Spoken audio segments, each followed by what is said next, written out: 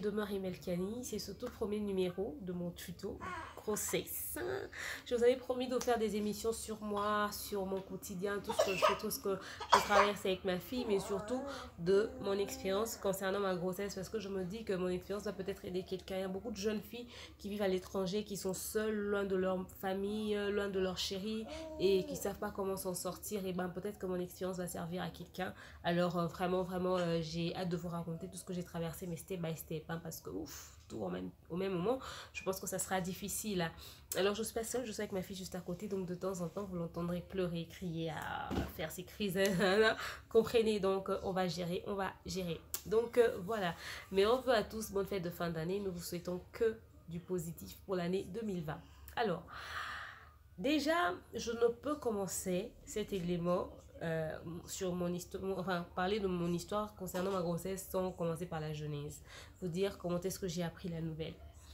Déjà, euh, je tiens à signaler que moi et mon chéri, ça va faire genre 5 ans qu'on est ensemble. Et en 5 ans, on n'avait jamais rencontré ce problème. Enfin, en 4 ans, on n'avait jamais rencontré ce problème. Euh, ou en 3 ans. Enfin, je sais plus trop. Je dois, je dois enlever les 9 mois de grossesse plus les 1 an de ma fille. Donc, depuis qu'on était ensemble, on n'avait jamais rencontré ça. Et moi, de toute ma vie, j'avais jamais été enceinte et c'était ma toute première grossesse. Donc, euh, c'était une expérience que je ne maîtrisais pas. Alors, je ne savais pas que j'étais enceinte, mais en ce moment-là, on a traversé beaucoup de crises, beaucoup de problèmes. Je travaillais sur un projet, j'étais en train de tourner une série que je réalisais. J'étais dans la mise en scène et de la réalisation, ça me bouffait le temps. C'était impossible, c'était difficile. Lui, il venait de revenir à, euh, Kinshasa et euh, il avait besoin de moi, il fallait que je sois présente. Or, j'étais pas là, j'étais absente, je cuisinais pas, on mangeait que les trucs de la rue. Du coup, à un moment donné, c'est vrai qu'au début, il, comprenait parce que de fois qu'on est occupé, lui, il s'intéresse pas à ces choses. On peut manger au resto euh, des trucs poulet grillé de la route, ça, c'est pas un problème. Il était déjà habitué, mais tellement que c'était devenu mais notre quotidien et tout j'étais devenue très absente et il a mais il a craqué quoi. À un moment donné il a dit mais non c'était de trop. Et cette crise l'a pesé vraiment sur notre couple et on a failli même euh, se quitter. Je me rappelle bien.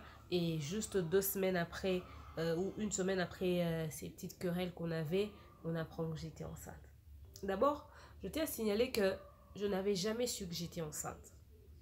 Quelqu'un va se demander comment tu voyais tes règles. Oui je voyais mes règles mais tous les mois et moi, j'ai appris que j'étais enceinte, c'était genre à 4 semaines. Imaginez. Et euh, euh, d'ailleurs, cette période-là, je me rappelle que je mangeais beaucoup de fruits. Pendant les tournages, j'avais une assiette comme ça. Je me mettais des fruits. Tout genre mangousta, likala, konkili, tongue, tondolo, ascendé dans une même assiette. Poilu. Oh, poilu, c'était. J'en mange, je me goinfre de fruits, je me goinfre des fruits. Et quand je finis comme ça, je bois de l'eau à la maison, je mangeais que des trucs yakuka, linga, yakuka, uka. Donc, du coup, euh, comme c'était des trucs que je fais tous les jours, même moi-même, ça m'a pas tiqué, quoi. Et je faisais des très fortes fièvres. Alors, un jour, on était sortis, on travaillait sur un projet, moi et mon chéri. Ça concernait un de ses potes. Et j'avais une très forte fièvre. C'était le 13 mars. En rentrant, l'ami de mon chéri nous a déposés devant un hôpital du quartier. Arrivé là-bas, quand on est arrivé, le médecin a commencé à me consulter. Il me demande c'est quand la dernière date de tes J'ai dit je sais pas. Il demande à mon chéri. Mon chéri a dit je sais pas. Il dit pourquoi? Dit bon, ça des trucs. En fait, on n'a jamais fait attention à ça. Et voilà, pour nous, c'est pas comme si on devait respecter quelque chose, que si ça arrivait, on va avoir peur et tout. Donc, du coup, euh, ça n'a jamais, ça, ça a été le cadet de nos soucis. Elle dit non, une femme doit connaître ces choses. Sinon, comment tu peux suivre que c'est venu ou c'est pas venu? Peut-être que tu es malade et tout et tout. Et puis, il a dit à la fin, il dit bon, ne lui, comme elle a la fièvre, on ne lui donne plus euh, euh, d'hypirone. à ton normal car demain, parmi les examens qu'elle va faire, rajoute le test de grossesse. Elle dit ok, pas de problème. On est rentré. Il m'a juste euh, appuyé sur le ventre et tout et tout. C'est ce qui lui a poussé au fait à poser ces questions. Et il voulait même me faire euh, toucher. Mon chéri a refusé au fait. Il a dit non, non, non, pas de toucher. Moi, j'aime pas ces choses. Alors, du coup, euh, Asimbaki Karande a exigé test de grossesse. Alors, quand on est rentré, le 14 mars matin, je suis allée, j'ai fait les examens. Comme je ne me sentais pas bien, j'ai fait les tournages chez moi. Euh, on a tourné, on a tourné, on a tourné. Et vers 17h, 18h, moi, mon chéri est venu. Il a demandé, mais euh, tu n'as pas pris les résultats? J'ai dit non, pas encore. Elle dit, ok, bon, je vais prendre pour toi les résultats. Il est parti. Quand il est revenu, je l'ai vu. Mais après, je ne le vois plus. Je demande, il est où? On me, dit, non, il est à l'extérieur, derrière, il t'appelle. J'ai dit, ok. Je vais en courant, j'arrive à l'extérieur. Il me regarde, il dit, arrête de courir. J'ai dit, quoi? Il me dit, je t'ai dit d'arrêter de courir. Tu cours pourquoi? J'ai dit, bah, je suis pressée, je viens, je te vois et puis je rentre. Il me dit, non, arrête de courir et assieds-toi. J'ai dit quoi? Il me dit, tu dois respecter ces choses désormais. Tu dois arrêter de courir, sauter n'importe comment, faire des choses mais qui te dépassent en, en je sais pas, mais tu dois arrêter ça. J'ai dit, oh, mais je te comprends pas. Il me dit, on a es enceinte. J'ai dit, qui a dit? Le médecin es enceinte. J'ai dit, attends, c'est une blague ou quoi? On peut pas être enceinte comme ça. Il me dit, bah, tu es enceinte. Ah, j'ai pas fait attention. J'ai voulu poser une question. Il me dit, mais demeure, je te dis que tu es enceinte. J'ai dit, t'es sérieux en plus? Il me dit, tiens, les résultats sont là. J'y cherche, là, on écrit enceinte, je vois pas. Il me dit, tu vois, quand tu as un résultat d'examen, tu vois un cercle, au même point à l'intérieur, c'est que tu es enceinte. J'ai dit, ah, c'est pas vrai. J'ai sauté de jeu. Mais mais je t'ai interdit de sauter. J'ai dit, mais je suis trop contente. J'aurai un garçon, j'aurai un petit enfant, un enfant qui va m'appartenir à moi. Pour moi, être enceinte, c'est Kardashian. Petite robe, petit talon, petit haut. Pour moi, c'était la bonne vie, quoi. Je ne savais pas ce qui m'attendait. Il m'a dit, assieds-toi. Le médecin m'a suffisamment stressé comme ça. J'ai dit, qu'est-ce qui s'est passé? Il m'a dit, non. Il m'expliquait comment me comporter avec toi pendant que tu es enceinte. Écoute, moi, je ne peux pas veiller sur tout comme ça. On va aller acheter les produits qu'on t'a prescrit. Mais ne le dis encore à personne. Alors, comprenez, c'est un coup de vent aujourd'hui, il a plu. Alors, du coup, on devait aller acheter les produits. J'ai dit, bon, je vais mettre des babouches, j'enlève mes talons. J'entre pour mettre les babouches, je vois mes copines, il y avait Francine, maman Hélène et Laetitia. Je viens, je les vois, j'ai dit, maman Hélène, en fait, c'est la maman de ma copine Laetitia, avec qui on habitait dans la même concession. Et Francine, c'est une copine, c'est elle qui a la scénariste de la série que je réalisais. Je leur ai dit, vous savez quoi, je suis enceinte. Quoi? J'ai dit, ouais, ah, c'est très bien, félicitations et tout et tout. Quand je suis sortie, mon chéri m'a regardé, m'a dit, tu as dit ça à quelqu'un J'ai dit, je ne pouvais pas garder ça pour moi. Il m'a dit, ok, on y va. On est parti à la pharmacie. Tous les produits qu'on avait, on avait prescrits, qu'on devait acheter, un gramme à côté. Un gramme. J'ai dit, mais c'est quoi ça me dit On me dit, donc tu es une femme enceinte, tu peux plus prendre les médicaments comme tout le monde. J'ai dit, ok. On a acheté les produits, on est rentré. On a vu euh, la femme sage à l'hôpital et le médecin. Ils nous ont expliqué comment prendre des produits. C'était le 14 mars et je suis née le 15 mars. Donc c'était le meilleur cadeau d'anniversaire de l'année 2018. J'avais l'impression que le ciel m'avait ouf. Je me rappelle qu'avant ça, on était allé, vite fait, hein, avant ça, on était allé dans un hôpital voir ma petite soeur. On a vu un bébé abandonné. Moi et mon chéri, on voulait adopter ce bébé-là. Une dame avait accouché, avait laissé son bébé. On s'est dit, docteur, pardon, au bébé, oh yoto qui est et tout et tout. Le médecin nous a compliqué, il fallait les avocats, il fallait l'été, etc., etc. Il fallait beaucoup de choses, choses normales. Mon chéri a dit, ah, je sais pas, l'envie qu'on a aujourd'hui, c'est pas ce qu'on aura demain. Et puis après demain, on est passé à autre chose. Et puis, quelques temps après, je suis tombée enceinte. Alors, euh, quand je suis, quand on est rentré, on a pris les produits, on est rentré à la maison, j'ai appelé ma mère. Ma mère a dit, tu vois, quand tu m'as appelé, tu m'as dit que tu étais malade, qu'est-ce que je t'ai dit? Fais un test de grossesse. Tu vois, tu allais tuer l'enfant pour rien. Maintenant, tu es devenue maman, tu dois être consciencieuse, tu dois être prudent, tu dois veiller sur toi, etc. etc. Ah, moi, je pensais que ma mère m'allait faire des histoires. Allait me faire des trucs, elle allait parler, elle allait râler, mais elle a pris ça comme ça. Ça m'avait beaucoup touchée. J'ai appelé sa petite soeur, sa soeur cadette aussi. Elle avait bien pris ça. Elles, n'ont pas parlé, elles n'ont pas crié. Ça m'avait beaucoup touché. Bon, après, ils vont crier sur qui? Sur une personne adulte qui vit déjà chez elle seule. Donc, du coup, ça m'avait... Enfin, ça m'a... Ça m'avait vraiment touché leur geste. Et puis voilà, j'ai pris ça comme ça sur moi, mais ça m'avait beaucoup marqué.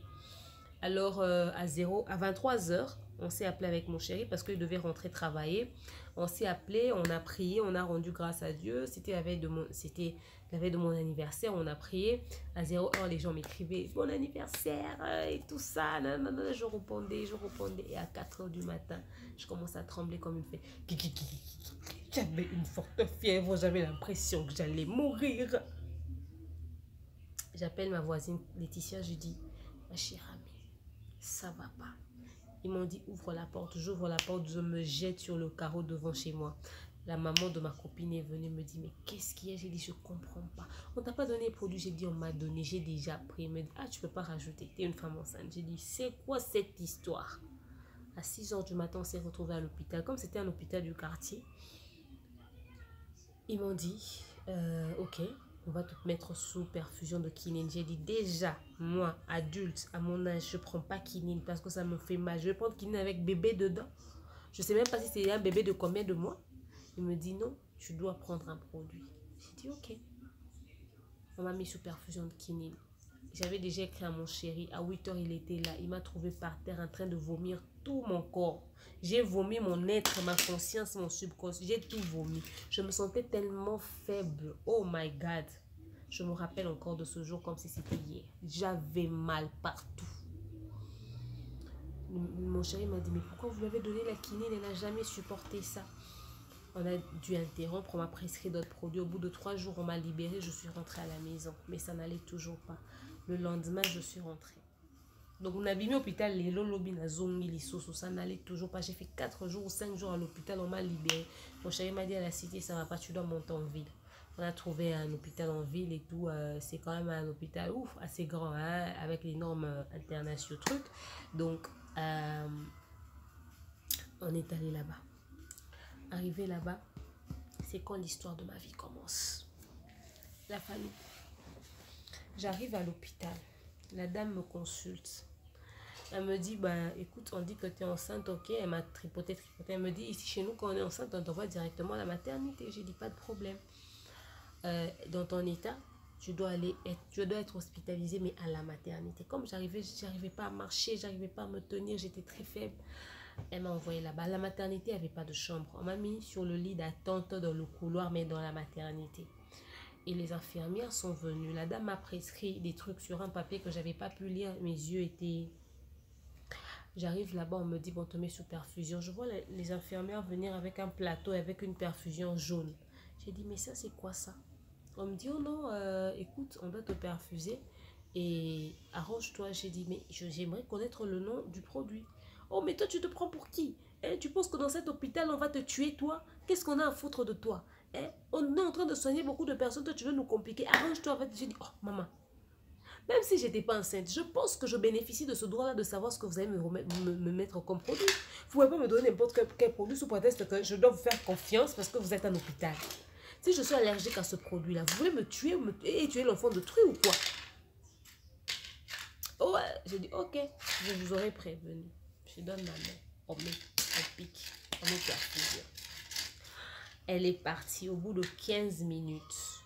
Oh, je vois mon corps commencer à se détériorer.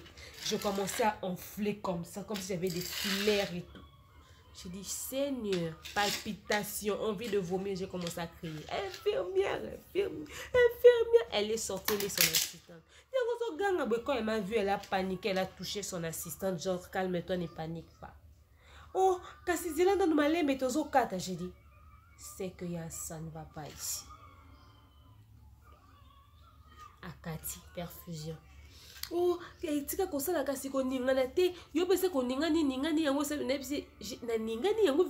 nzoto. Je vous avais pas dit que je pourrais être allergique à ce produit. Quand je vous ai posé la question de connaître le nom de ce produit vous m'aviez donné. Oh zanoka mais j'ai dit j'ai envie de vomir donnez-moi un saut oh tika no makambo non non osanza te ozopanique kaka pamba j'ai dit j'ai envie de vomir donnez-moi un saut nayebi so elle pendant qu'elle parlait je l'ai tiré sur sa blouse. J'ai fait un spectacle ce jour-là Je l'ai tiré sur sa blouse. J'ai vomi sur elle. Ah.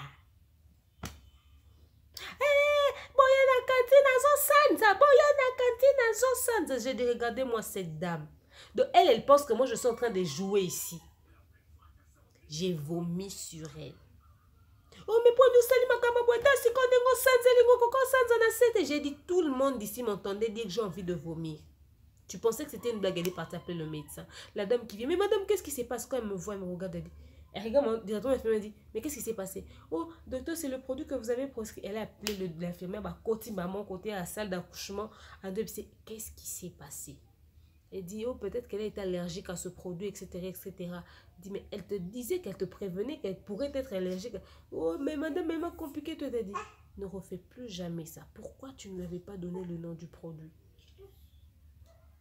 Tu veux qu'on nous arrête ou quoi? Maintenant, euh, et puis quand elle est sortie, elle dit, excusez-moi madame, je ne savais pas que vous étiez allergique à, euh, ce produit. Vous avez déjà été perfusée. J'ai dit, je sais pas. Mais je, il se pourrait que je puisse être allergique. Je ne maîtrise pas, mais connaître au moins le nom du produit qu'on te donne, c'est très important. Mais dit, ah ok. Après, elle dit, mais on va te changer de traitement, mais avant, on doit appeler le médecin qui s'occupe de toutes les femmes enceintes. Il est genre le médecin directeur, ils sont allés appeler le médecin. Le médecin en question est venu, il m'a regardé, il m'a reconsulté, il a demandé qu'on fasse des examens et puis ils m'ont trouvé une chambre toujours dans la maternité. Je suis allée là-bas. J'arrive dans la chambre, on me met une autre perfusion, les choses se calment. Cette fois-là, la perfusion n'était plus orange, hein. au moins la perfusion était blanche. on m'a mis la perfusion, on a commencé le traitement. On a commencé le traitement. Cette nuit-là, j'ai dormi dans une même chambre qu'une dame qui a déjà accouché.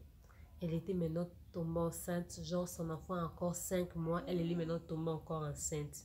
Maintenant, quand elle est arrivée à l'hôpital, je ne sais pas qu'est-ce qui s'est passé. Ce qui peut m'emmener là déjà qui sinanda kunaye. Ce qui ndenge ni nonde, bika so uto boto zuze mi mususu ba susu ba linga bomba te. Ce que so pas ça mi melele qui c'est ça mi bomele moi na na est compliqué.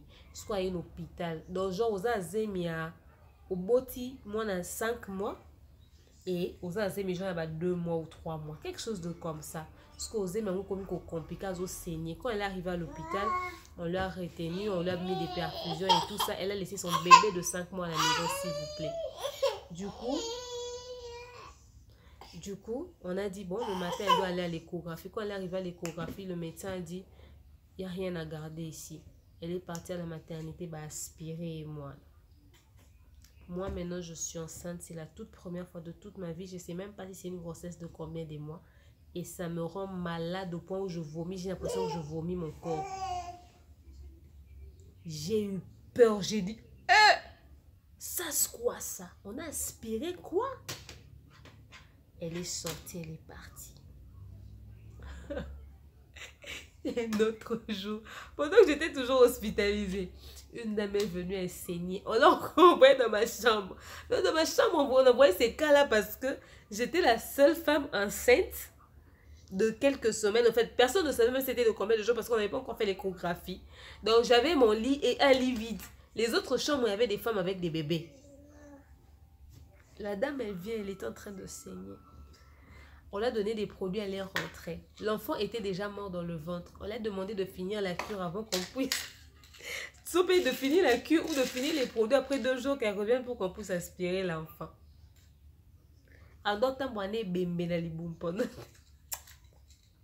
Je n'ai pas... Je, rigole, hein. Mais je vous raconte pas la peur que j'avais. Elle, elle, est venue le jour qu'on devait l'aspirer. Maintenant, elle m'a vu. Elle m'a dit, ça va? J'ai dit, ça va. J'ai dit, qu'est-ce qu'elle m'explique? Elle m'a dit, toi aussi, on t'a fait ça. J'ai dit, non, moi, je ne sais même pas à quoi m'attendre. En fait, je ne connais même pas l'état de mon enfant. Elle dit, excuse-moi, je t'ai raconté ça, ça a dû te faire peur. J'ai dit, ça a dû? Mais tu m'as fait flipper, meuf. Tu te promènes avec un cadavre dans le ventre. J'ai prié, j'ai cru ma mère. On passait notre temps à prier. Après, le, le, troisième jour, on devait me libérer, je devais sortir de l'hôpital. Le quatrième jour, le médecin directeur, celui qui s'occupe des femmes enceintes, est venu, m'a demandé Madame, qui vous a dit que vous étiez enceinte? J'ai dit, bah, j'étais à l'hôpital, je l'ai expliqué. Il m'a dit, ok, on peut se fier des résultats qu'un autre médecin t'a donné. Si on t'a envoyé à la maternité, c'est parce que tu nous as dit que tu étais enceinte. Donc là, on t'a traité comme une femme enceinte et maintenant, on doit confirmer ta grossesse et puis faire une échographie pour savoir si l'enfant est dans quelle position. C'est vrai que dans les consultations, on croit que tu es enceinte, mais on doit confirmer ces choses.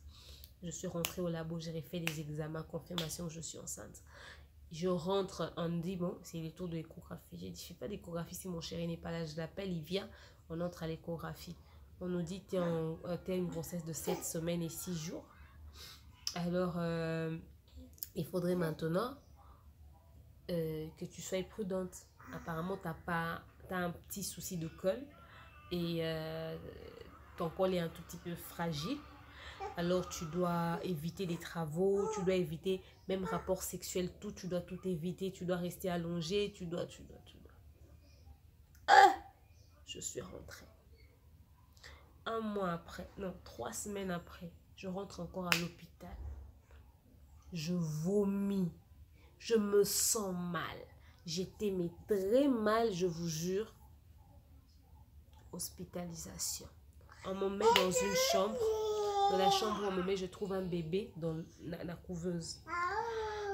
Il y avait une dame là. Maman, c'est quoi votre problème? Oh non, euh, ça c'est mon bébé je regarde bébé yango liboko mokie bo lokola mpuku lokola lo- lokola eh?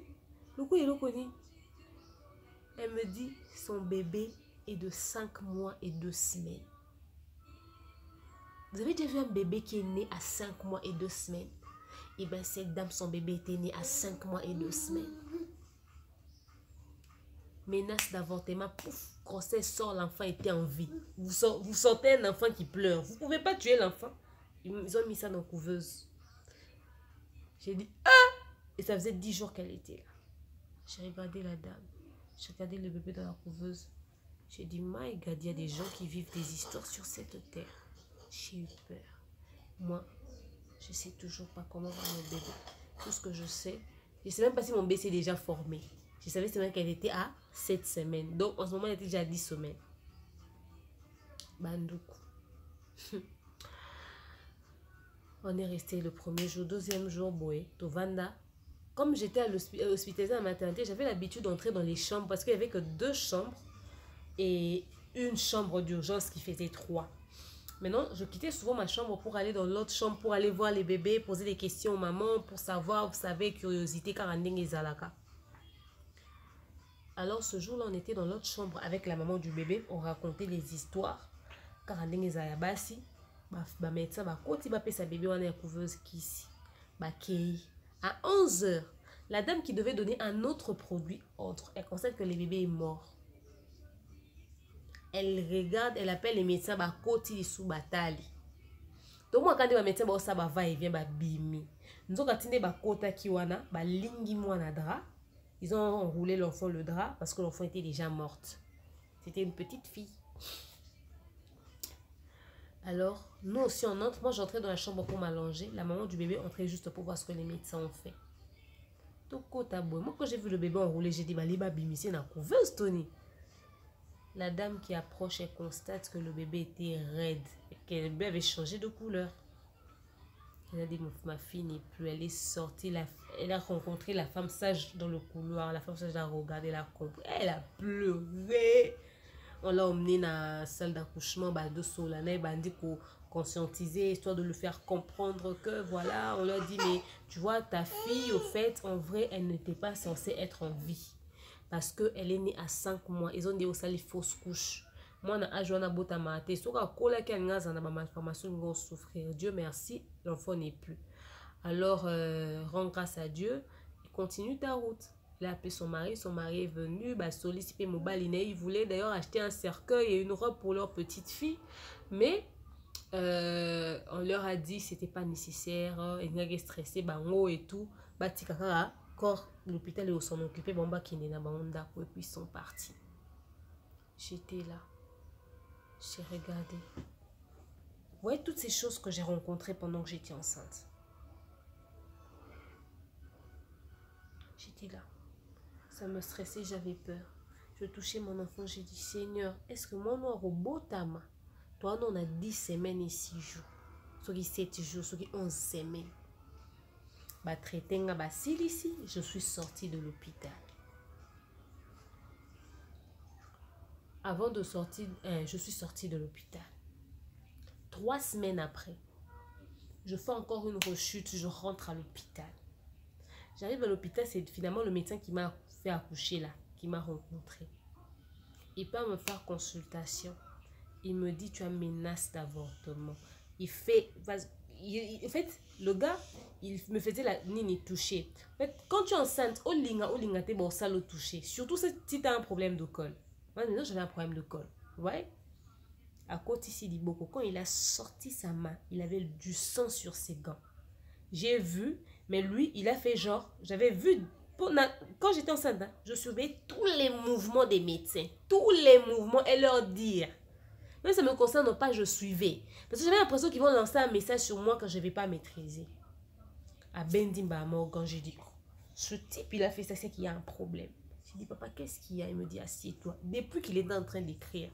Après, à la fin, il me dit, oh, tu as une menace d'avortement, on doit te retenir. J'ai dit, Oh, bah, problème, combien qui ma maman au miso boy. J'ai commencé à pleurer. Il m'a dit, va, euh, euh, j'ai envoyé, parce que là-bas, on envoie les, trucs par mail. Hein. Donc, la fiche est par mail, ils écrivent, ils, ont, ils transfèrent directement, je vais aller au labo. Il me dit, va au labo, là-bas, j'ai déjà envoyé ta fiche par mail et ils vont te faire des examens. Je suis arrivée, j'étais avec une copine. Je suis arrivée devant la porte. J'ai tremblé comme ça. Je n'arrivais pas à marcher, je pleurais. Il m'a dit, qu'est-ce qu'il y a Je lui ai dit, hein, c'est grave. J'ai dit, je sais pas. J'ai appelé mon chéri, je lui ai dit, mon chéri m'a dit, calme-toi. Comme on pensait qu'on avait, on pensait qu'on allait avoir un garçon, on savait pas que c'était une fille. Il me dit, mon fils, mon fils, il va pas naître avant le jour.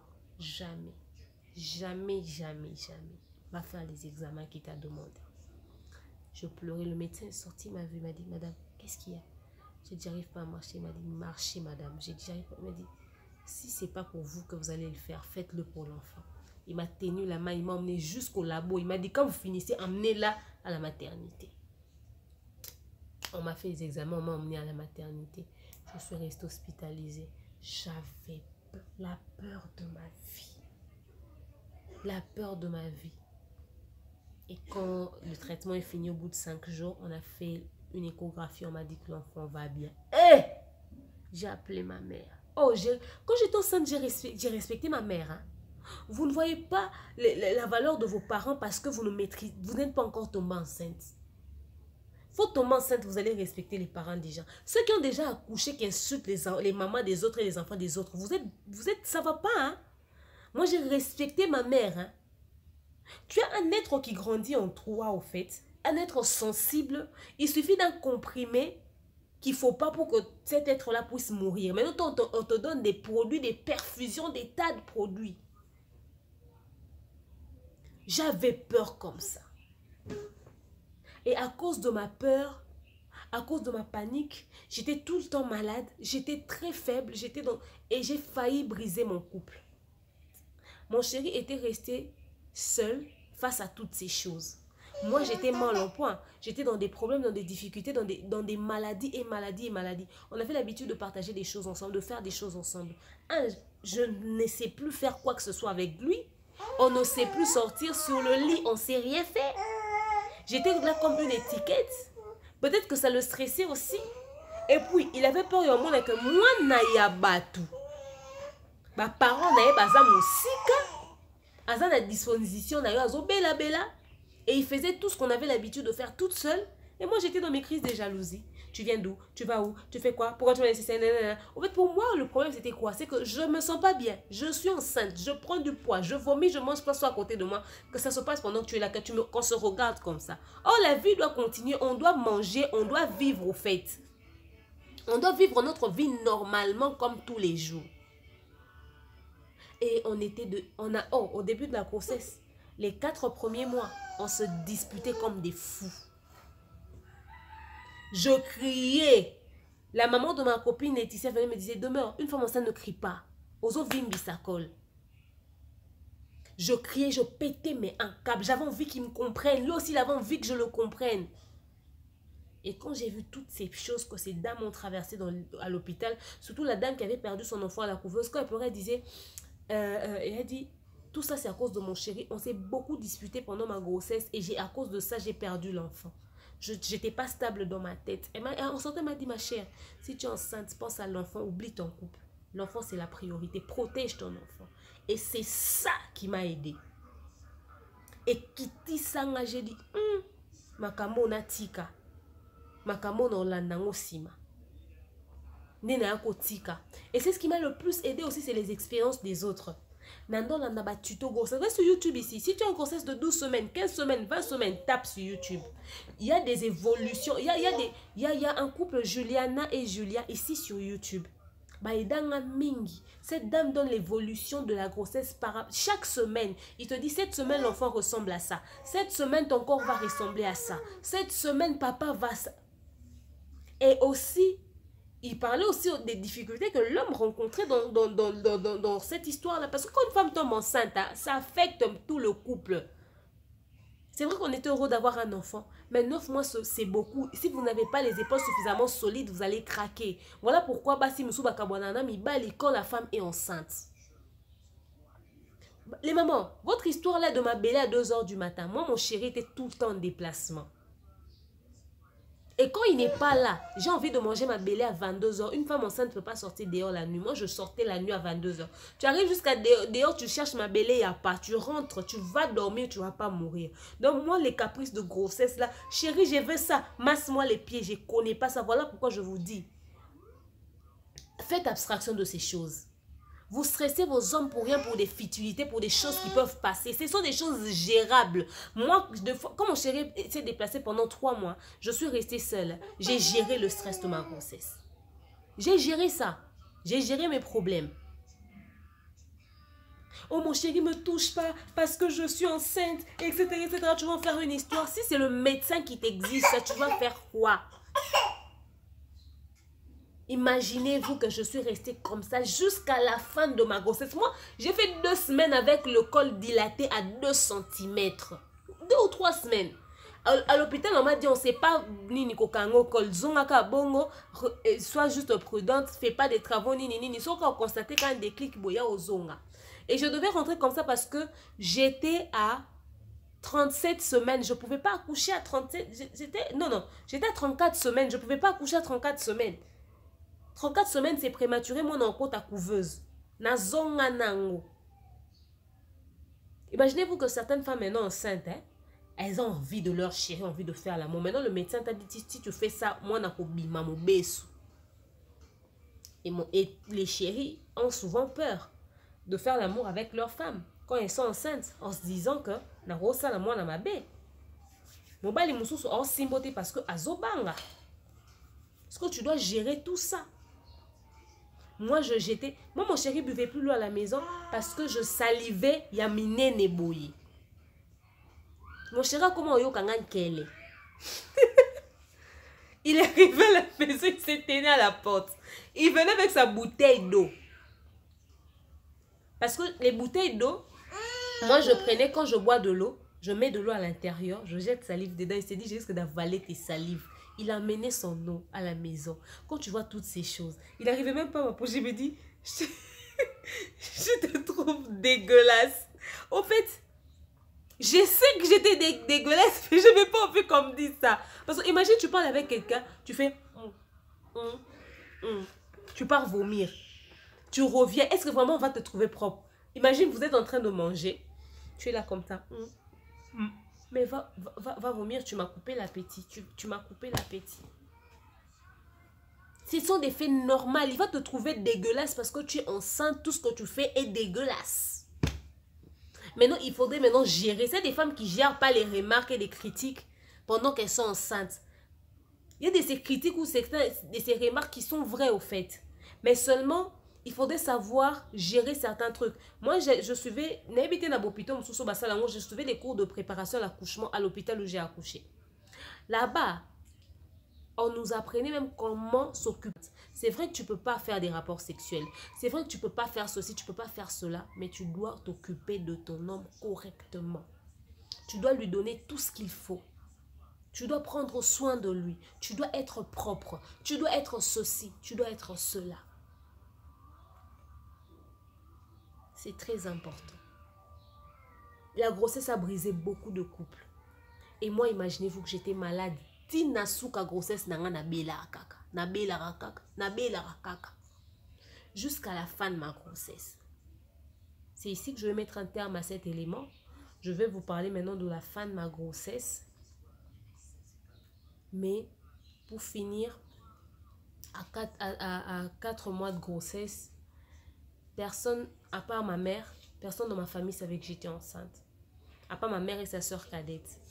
Mon père ne savait pas parce que je ne peux pas l'appeler pour lui dire ça. Il fallait que je trouve un, moyen. Puis j'étais très malade. Et oh, c'était le jour de l'anniversaire de Joseph Kabila, notre ancien président. Natina qui message la liste de diffusion. Un de, de pire petits à mon papa, avec qui j'ai travaillé à Vodacom je lui ai envoyé le message en disant anniversaire à Joseph Kabila aujourd'hui, euh, qu'est-ce que tu lui souhaites et tout. Elle me dit, il me dit, mais sincère condoléances. J'ai appelé, j'ai dit, je me condoléances à problème. Il me dit, t'es pas au courant pour Enoch? J'ai dit, non. Il me dit, mais attends. Ah, ok, je me suis trompée. J'ai dit, vieux, tu t'es trompé, Enoch, mon petit frère. Mais sincère condoléances, c'est-à-dire quoi? Il refusait de me répondre. Je l'appelle, il me répond pas. J'ai appelé mon chéri, j'ai dit envoie-moi du crédit, j'en ai plus. Là, on vient de me dire un truc qui m'a cassé les nerfs. Il m'a dit quoi? Je l'ai expliqué. Il m'a dit non, peut-être qu'il s'est trompé. J'ai dit j'ai rencontré mon frère en mars, nous sommes en juin. L'état de santé dans lequel je l'ai vu, c'était pas normal. Je vais sur euh, Facebook, le Facebook du petit frère cadet de sa maman, de la maman de mon frère, parce qu'on n'est pas, on n'a pas la même maman. Et je vais là-bas, je vais voir Adieu Enoch, patati patata. Il est mangeant vendredi, moi j'apprends ça lundi. Hé J'ai jeté le téléphone, j'ai pété un câble. Je n'en revenais pas. De tous les problèmes que j'avais. Je suis malade. Ça va pas avec mon chéri. J'ai l'impression d'être délaissée. Je perds mon petit frère. Je m'habille. J'arrive jusqu'à Lemba.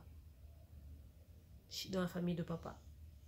J'entre dans la parcelle. Les gens en panique. J'enlève mes lunettes. Je leur demande comment mon frère est décédé. Oh, il était chez sa maman. Il, a fait, il avait tuberculose aiguë. Sa maman n'a dit à personne. Il a été malade pendant genre plus de deux mois. Sa maman n'a dit à personne, etc. etc. J'étais là. Et puis, il habitait genre une avenue avant l'avenue de, de chez mon papa. Mais personne n'était au courant. Les gens l'ont rencontré en route. Mon frère a totalisé 25 ans aujourd'hui. Il est mort le lendemain. Eh Tu veux pleurer, tes amis te disent enceinte, on pleure pas. J'ai jamais su faire le deuil de mon frère. Je, le, je, je fais son deuil à chaque fois que je parle de lui. C'est une façon pour moi de me défouler. J'arrive chez eux dans la famille de sa mère. Je trouve sa maman, j'entre dans la parcelle, sa maman assise par terre en train de manger avec ses soeurs. Elle soulève la tête, elle me voit. Dans sa famille, on ne me connaît pas. Elle, elle me connaissait. On demande ce qu'elle dit, c'est la soeur de Enoch, sa grande soeur. Comment elle, sait? On lui a dit comment elle sait ça. On envoie sa soeur qui était aussi enceinte qui vient m'expliquer les choses. En même temps, mon père ne pouvait pas arriver là-bas parce qu'ils avaient des conflits de famille. Le deuil de mon frère, c'était le deuil le plus bizarre que j'ai jamais vu. Mon père n'a jamais pleuré son fils unique. Jusqu'à l'enterrement, mon père n'a pas vu le corps de son fils. Ni moi, ni mon père, on a vu là où on a enterré Enoch. Moi, je ne pouvais pas aller au cimetière, j'étais enceinte et mon père n'avait pas le droit d'approcher. J'ai pleuré tous les larmes de mon corps chez moi à la maison. Je ne pouvais pas assister au deuil de mon frère tous les jours parce que j'étais enceinte. Et quand j'arrivais au deuil, comme c'est la famille de sa mère, je ne savais pas comment les choses se passaient. Je ne suis jamais assise par terre pour mon frère. J'étais toujours sur une chaise. On a enterré mon frère, je suis rentrée. J'étais enceinte, j'allais pas bien. Une semaine après, j'ai été encore hospitalisée. J'ai passé des expériences mais terribles pendant ma grossesse. Hein. Terrible. Entre maladie, difficultés, problèmes, solitude. C'était terrible. C'était terrible. J'en parle, mais j'ai froid au dos. J'ai froid au dos, en fait. J'ai froid au dos. De tous, les problèmes que j'ai rencontrés pendant ma grossesse, mon état de santé, etc., etc., ma plus grosse peur, mes plus grosses peurs, c'était quand on me disait menace d'avortement. Quand on m'a dit que j'avais un problème de col, fallait que je sois prudente, sinon j'allais perdre l'enfant. Et ma plus grosse peine quand j'ai pleuré tous les larmes de mon corps, c'est quand j'ai perdu mon petit frère qui n'a jamais su voir sa nièce. On n'était qu'à deux chez papa. J'étais l'aîné et lui venait juste après moi. Ah Mauvaise expérience de toute ma grossesse. Hein. Mais après, pour finir, on va parler de l'autre partie. Euh, je vais parler de la fin de ma grossesse et jusqu'à l'accouchement.